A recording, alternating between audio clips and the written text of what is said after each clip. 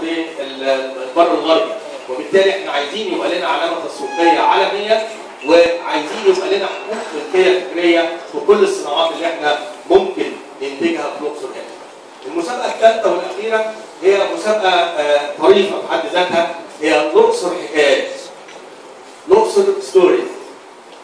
أكيد كل واحد عاش في الأقصر أو زار في الأقصر أو آه، درس عن الأقصر أكيد عنده حكاية معينة يقدر إن هو يحكيها لنا ويقدر إن هو آه، يوريها لنا بصورة آه، كويسة.